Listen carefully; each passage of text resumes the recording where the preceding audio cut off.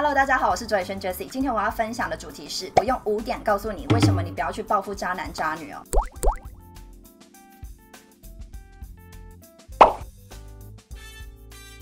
当然啦，我知道就是被渣男渣女伤害了，很多人都会兴起那种哦，我想要去报复他，让他尝尝一样的痛苦这样的心情。我觉得这种心情是无可厚非的，是没有关系的，是正常的，因为你是人嘛，总不能要你像圣人一样说没关系，他伤害我，没关系，我原谅他。我相信很难有人可以马上做到原谅这件事情，因为你是需要时间去淡化你的伤痛的。所以你想要报复，我都能理解。然后你想要花时间就是让他后悔，我也觉得我明白。可是我。希望能用我自己的经验来告诉你们说，为什么不要去做报复渣男渣女这种事。如果你是刚刚被伤害过的人，你可能很难去接受我接下来要讲的话，或者是接下来要给的建议。你会觉得哦，我只是在说漂亮话而已。但是，请你相信我，我是真的曾经也有过报复的心情。可是试着那样做以后，发现那对我来说是没有帮助的，而且给我带来的伤害是更大的。希望我分享完以后，能让你不要那么想要去报复他。们哦，第一个就是，如果你想要去做报复这个行为啊，你会让自己更难去忘记对方。我觉得这个是很难走出失恋的。你知道要怎么样走出失恋吗？就是慢慢忘记这个人。那如果你一直想要去报复他，那你心里每天一醒来睡觉前，你都在想说好做什么做什么，然后让他感到后悔，让他觉得很痛苦，因为你每天都在想这个人，所以你要忘记他吗？很难。而且你们知道，就是那样的报复会让你很痛苦，是因为你在想着怎么去报复的同时呢，你还是。是爱着对方的人的感情是不可能说不爱就不爱的，不可能说恨然后就只有恨而已，一定是爱恨交织的哦，一定是会让你觉得说哦，我在想要报复他的同时，却也在想有没有可能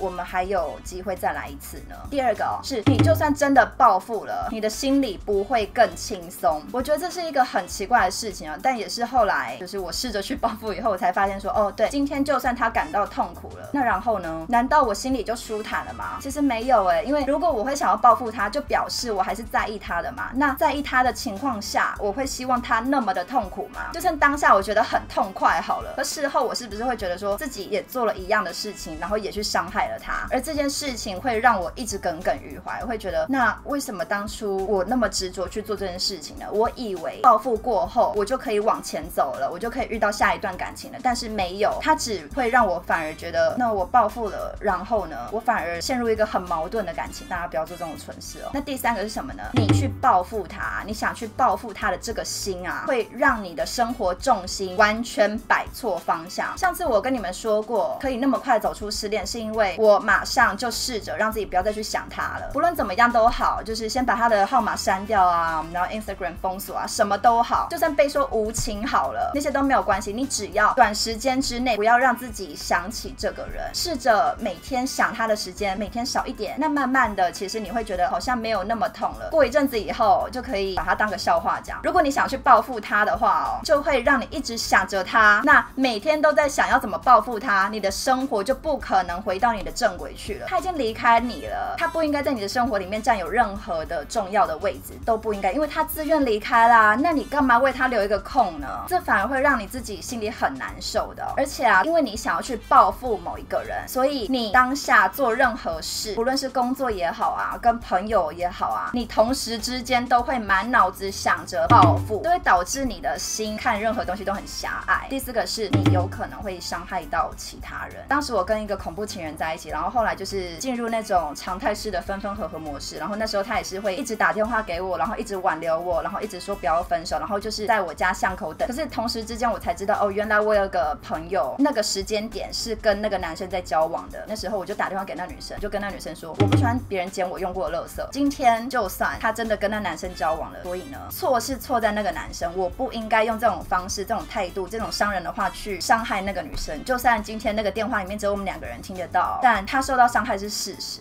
所以当时我就觉得非常的后悔，我是事后觉得很后悔，当下我是不会的。当下我一点都不觉得哪里不对，可是我后面想一想就觉得，其实今天伤害我的人都是那个男生，为什么我却说了这种话去伤害那个女生呢？好，那第五个啊是什么呢？你会做出让自己未来后悔的事哦。有些人就是得了忧郁症，开始自残，伤害自己，甚至有些就是跳楼自杀了，就是结束自己的生命哦。但你去进行报复这件事情哦，你后面还是会后悔的。为什么呢？因为你会发现，其实如果你没有做这件事情，只要花一点点的时间就可以走出失恋了，你不用浪费那么长的时间去挣扎。那因为你选择了报复，而导致自己的疗伤期变长，也让自己的痛苦变久，那都是很不值得的事情我觉得，乐色就让他离开你的人生，就是不需要为了去攻击乐色而想办法，然后也不需要为了攻击乐色而去伤害你所爱的人或伤害自己。那我曾经也是犯过蠢过，因为我曾经伤害到我的朋友，所以我未来都不会再做报复前任或者是报复渣男这种事情了。